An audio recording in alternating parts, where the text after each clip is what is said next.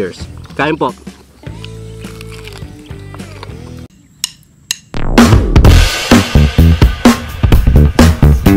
So ito brother, ready na to. Yung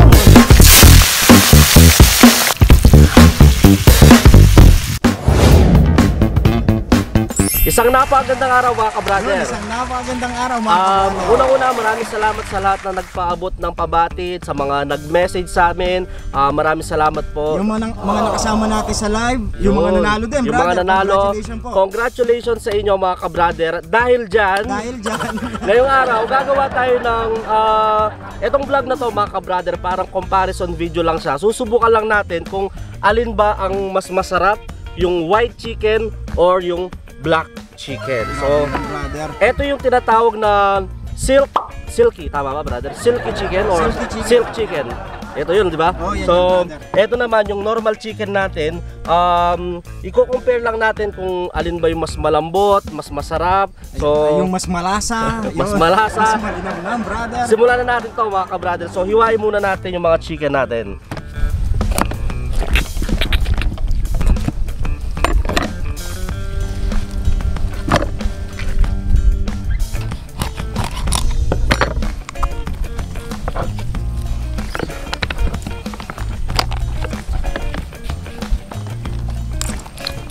Matapos nating i-butterfly yung ah, black and white chicken natin mga kabrad. Siyempre, i-season natin yan. Pero bago yan, ah, pakita ko lang sa inyo, kung mapapansin yung buto, laman, black talaga yan, no? Oo, Pati yung mga laman loob mga ka-brother, black yan. Nung nilins ko kanina, talagang black, brother. Black, no? Oo. Sa mga kabrother na di pa nakapag-try nito, pwede naman kayong mag-search dyan. Ah, hanapin nyo lang silky chicken or sa ibang lugar, ang tawag dito yung pure black talaga, pati balahibo, is yung ulikba. Ulit ba? Yan. Shoutout sa mga kabrother na nakatikim na nito.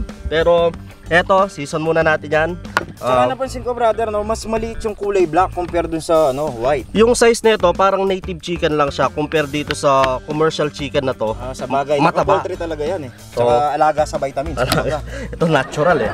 So lalagay lang tayo dyan ng onion powder.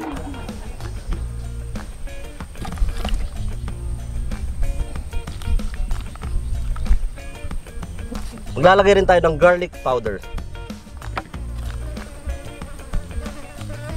Asin. Yan, okay na yan. Tapos maglalagay tayo ng ah, pamintang durog. Yung Black pino. pepper. Oo, yan. Pino Black pala. pepper powder. Yan.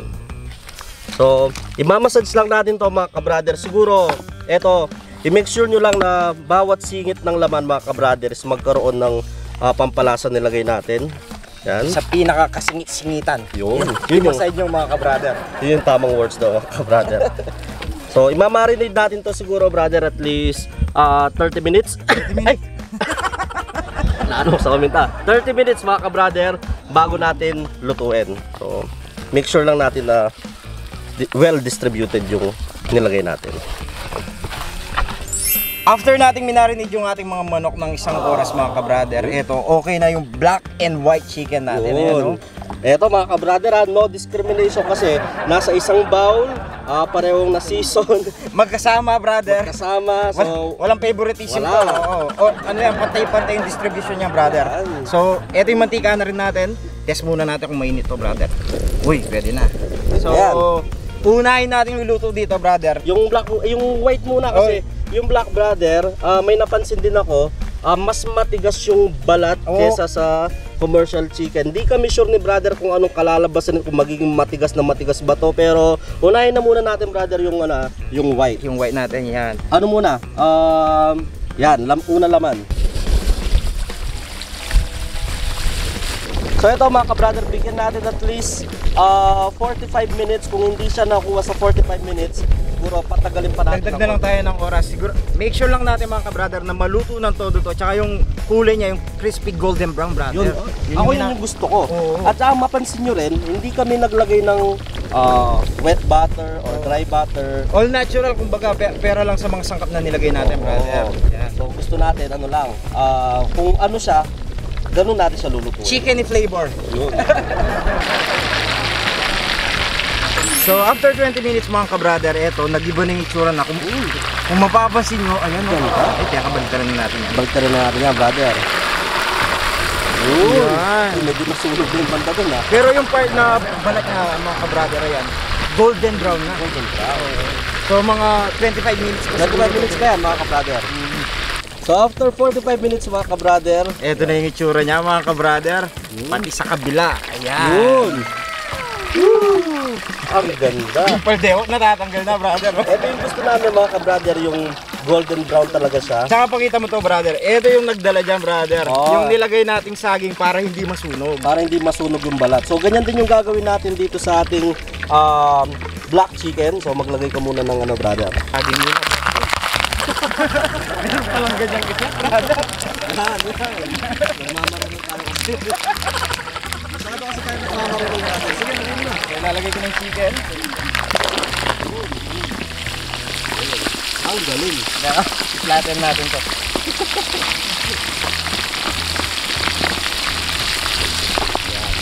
Kaya muna natin yan mga kabrader. Mga 45 minutes siguro brother. 45 minutes.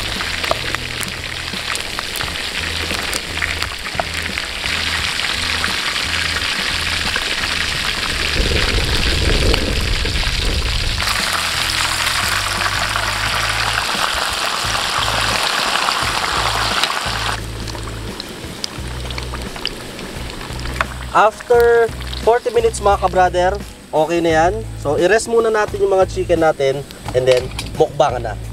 At bago tayo magmukbang mga kabrader at habang pinapalamig natin yung mga chicken, gusto muna namin kapakilala sa inyo ang Diamond Game. Solid to mga kabrader kasi pwede nyo itong pagkakitaan kahit nasa bahay lang kayo at pwede kayong kumita na ng tunay na pera. Sobrang dali lang naman ito mga kabrader. At syempre alam nyo naman, di kami papayag na wala kayong makuha sa promotion na to. Once na nag-sign up kayo, automatic magkakaroon kayo ng 10 coin na pwede nyo nang gamitin sa loob ng app. Sobrang simple lang naman. I-click nyo lang yung link Ayan, para ma-download nyo mga kabrader. Ah, at once na na-download nyo siya, ganito lang ang gagawin nyo mga kabrader. Papakita ko sa inyo. Pag na-download nyo na mga kabrader, i-click nyo lang yung register. Ayan.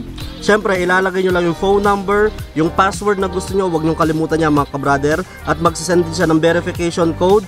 Ilalagay nyo yung referral ID mga kabrader para makakuha kayo ng extra coin na 10 coin ay 52858 47. Ayan. Once na nalagay nyo na lahat yan, mga ka-brother, i-confirm nyo lang. Ayan. Kung mapapansin nyo dito mga ka-brother, ito ang sinasabi namin sa inyo na magkakaroon pa kayo ng extra at ito ang malupit mga ka-brother. Kasi mayroon kang daily bonus. Ayan. Close mo lang yan. Dito mo makikita yung lucky code. Ito ang maganda sa laro mga ka-brother kasi araw-araw makakakuha ka pa ng free coin. So enter nyo lang mga ka-brother is 16666 Ayan, tapos done mo lang. Once na na-claim nyo na mga ka-brother, mapapansin nyo, bukod sa 10 pesos, magkakaroon pa kayo ng another 20 pesos. Ang good news dyan mga ka-brother, araw-araw yung 20 coin na yan. So, ang daming laro dyan mga ka-brother, sobrang mag enjoy kayo. Pero subukan natin ulit, ito, try natin yung color game. Nasa color game na tayo, may option dyan, 1, 5, 10. Subukan natin tumaya ng 10 dito sa red. Try lang natin mga ka-brother. Tignan natin to brother kung mananalo. Sana manalo brother. Ito na. Yan na! Uy, panalo! Double ba? Hindi, pink yung isa. Ayan, tumama tayo ng 9 ah, pesos. Kung mapapansin nyo, nadagdagan yung ating pera. At pag naipon nyo na yan, mga kabrother, na parami nyo na, pampalipas oras lang, so i-back nyo, dito kayo pwedeng mag-withdraw mga kabrother. I-click nyo lang yung withdraw. Ayan. So, ang minimum na withdrawal mga kabrother is 300 pesos. Once na kinlik yung withdraw, i-buy nyo lang yung Gcash account nyo at mapupunta na sa inyong Gcash account. At kung gusto nyo namang madagdagan yung coin nyo or mag-cash in, i-click nyo lang yung wallet. Ayan, maraming option dyan, 100, 200. So, sample, naglagay ka ng 100. Ganito mag-cash in mga kabrother. So, i-yes nyo lang yan. Yan. I-copy nyo lang yung phone number na nasa taas kasi dyan nyo isi-send mga kabrother. So, i-copy natin. At ganito ang pag-cash in mga kabrother. Like for example, yan 100. I-send nyo lang yan. Send. Tapos send 100. So ayan mga kabrother, ilalagay nyo lang yung reference code na yan, yung reference number dito sa baba. Matapos yung ilagay yung reference number mga kabrother, submit nyo lang yan. At sobrang bilis mga ka-brother, andyan agad yung kinash in mong 100. At pag nag-cash in ka ng 100 mga ka-brother, makakakuha ka pa ng extra 10 coin. Ayan mga ka-brother, sobrang daming laro. Meron diyang Dragon Tiger, Color Game, Animal World, 88 Fortune Slot, Luxury Fruit Connection, Egypt Treasure Slot, Poker War, and Wonderland Forest Lot. Subukan nyo to mga ka-brother. Ganun lang siya kadali mga ka-brother. Kaya subukan nyo to, pampalipas oras lang. Ah, habang nasa bike ka, pwede kang kumita. Ito ang Diamond Game. So alam nyo na mga ka-brother, mukbangan na tayo. Ito na mga ka-brother, ready na yung ating white and black chicken. Parang ano, sa puti sa itim na manok. Parang, parang sabong, brother. Ay maraming salamat pala sa mga ka-brother na bagong subscribe, Yun, bagong salamat, follow. Welcome sa Kalina Brothers. Tsaka shoutout ko nga pala si ah, Daisy Jane Uy. Kilala Tamon na nasa Shoutout. Australia ngayon at sa boyfriend niyang si uh, Kretschner is Liman ng nasa Guagua. Shoutout sa inyo. Shoutout po sa inyo. So bago tayo mag-start mga ka-brother, pray muna tayo. Thank you Lord sa napakasarap na pagkain at Lord bless this food Lord in Jesus name pray. Amen, amen. Amen. Thank you, Lord. So eto na. Ayun. Ano Unahin, una natin dito, brother? unahin natin to syempre. Yung normal chicken na nakakain natin. Yung mga regular chicken natin. Regular chicken. Mm. Mm. Yan no? Mm. Sausaw natin sa... Ay, may suka pala tayo dito mga ka-brother ha. Yan. Suka Nilagyan na may sibuyas, sibuyas. oh. Bawang at saka ano, paminta. Mm. Cheers. Kain po. Mm.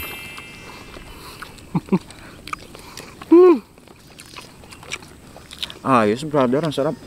yung mga nilagay natin pampalasaan doon. Tsaka dahil sanay na kami ni brother dito sa chicken na to, hindi na kami na-surprise kasi ang sarap talaga mga ka-brother. Hmm. Kain po. Mm.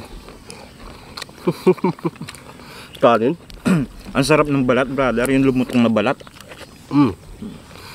Hmm. Lagyan mo ng maraming sibuyas. Medyo nagmamadali pa naman kami ngayon.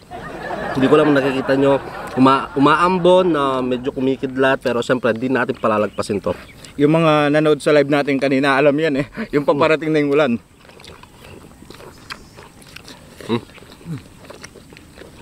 Grabe. Ang sarap, brother. Pero dito, na-excite din ako dito. Subukan na natin. Subukan na natin. Hmm. Mas firm lang yung laman niya. Pero kuha na tayo dito. Ayan. Hmm. For sure sa mga ka-brother may magko-comment dyan na bakit pinrito nyo yan? Eh matigas yan. eh subukan lang natin mga ka-brother. Alam niyo naman tayo, mga ka-brother. Experiment, experiment. experiment. Tsaka kung mapapansin nyo, pati buto talaga. Maitim. Oo, oo. Subukan natin yan. Eh, sige, eto, sa drumstick tayo. Cheers tayo. Cheers. Kain po. Mmm. Ayos din. Akala ko, magiging matigas siya. Especially yung balat mga ka-brother. Kasi kanina, iba yung texture niya. Matigas siya, pero ngayon, okay naman din. Sobrang brother. lambot mga ka-brother ha. Ako ang panlasa ko sa kanya brother para siyang lasang native na manok. Mm-mm. Mas mas gelatinous. Yun. compared sa normal nating manok, brother. Meron siyang gelatinous texture. Oo. Naalala ko tuloy yung nag-comment last time. O yung nag-message sabi niya. Sabi. Nakakagutom kayo mga ka-brother. Nakakagutom yung texture ng mukha niya. ano ba? Mukhang crispy na ba? Mukhang lechon. Kain po. Mm. In fairness, ibang klase yung black chicken natin, brother. Sarap. Mm-mm. Mm. Kung pwede ko lang mapakita yung mga ano, brother eh. Yung mga, mga ka-brother yung taba-taba dyan, no? Iyan, no? Ih. Mm. Sarap. Kala ko kanina papakuluan pa. Pwede naman pala siyang iprito mga kabrada. Pwede naman pala siyang irekta. Mm-mm. Pag- Pagkatapos makatay, brother. Hmm? Ay, may Sarap. naisip ako, brother. Asking pa dew niyan. Tigisa tayo. Nandyan pa ba? Wala na. Nakain na. Nakain na. Ano, crispy pa oh. Mm.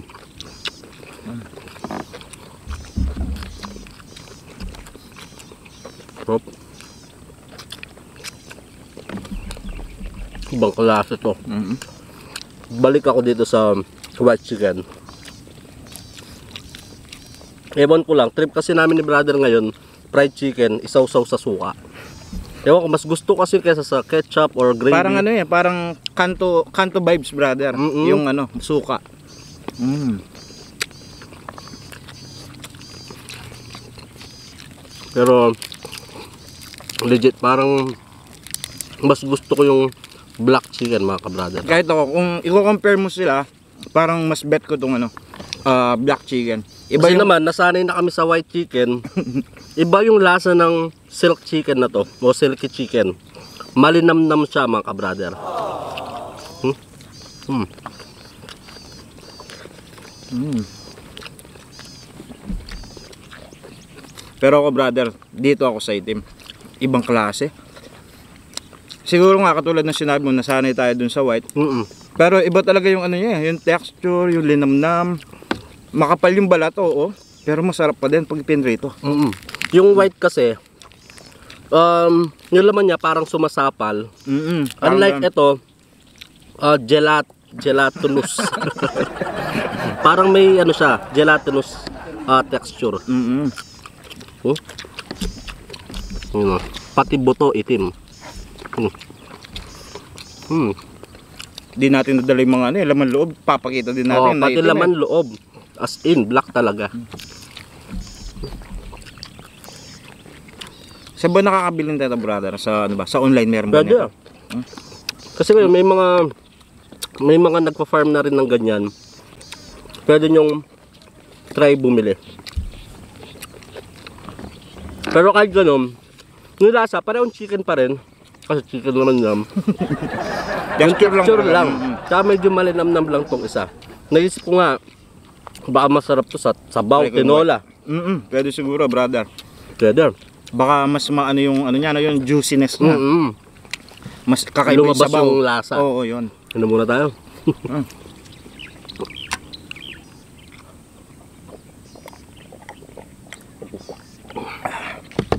Huh, sarap. Balik ako sa white brother. Ako rin. Kasi ito wala ng drumstick. Pero konti lang natira sa kanya. Tsaka papatikin pa natin to eh sa mga nanonood na sa atin brother. Yan o. Mm.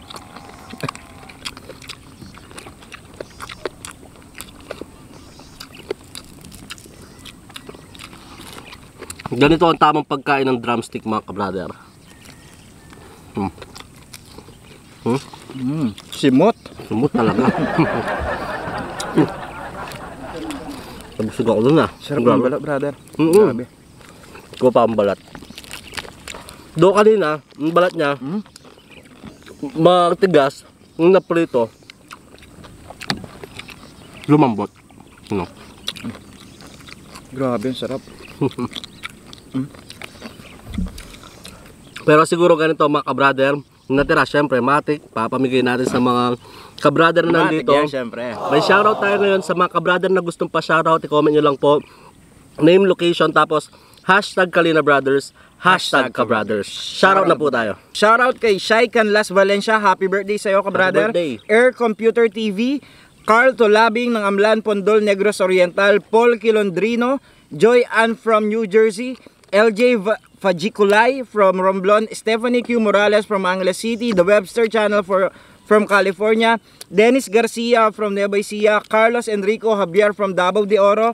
May Guilem from Pavia, Iloilo at Andoy Baldove. Ronel Lontok from Los Baños, Laguna. Dexter Avelino, belated happy birthday sa iyo ka brother. Analicia Dugay from Ilocos Norte. Mercil Maresil Gabales uh, from Cebu. Jo Jome Kyle Jeric Pasqua from Isabela. Carlos Enrico Javier from Davao de Oro, Hans Daniel Balang, Roldan Bunagan from Abra, Small Time Vlogger from Cagayan de Oro City, Dex USA from Ohio USA, Dave Cotas from Tanay Rizal, Christian Magdaleno from Santa Mesa, Manila, shoutout po, Susan Family from Nueva Ecija, Cleon G. Masangke from Tarlac, Lian, Relato from Bulacan, Gerald Vlog from South Cotabato City, Mail Gilem, May Gilem at Bandoy Baldove from Iloilo, Melvar Bedon from Quezon City, City, Gian Vladimir Ebrada from General Santos City, Jeremy Fabiano ng Santa Rita, Pampanga, Alvin Tugbo from Naga, Kamaligan, Comsur, at sa Lacanyenta and Copino family. Shoutout po sa inyo mga kabrother. Shoutout po. Sana nag-enjoy kayo sa episode na to. Kung sakaling may makita kayong ganitong klaseng chicken. Mm, try nyo po. um, Pwede sa online makakita, brother. Try nyo yung recipe namin ni brother. Sigurado, mag-enjoy kayo. mag mga enjoy kayo dito. Siguro dito na lang. Ah, maraming salamat sa walang sawang support ang binibigay sa Kalina Brothers.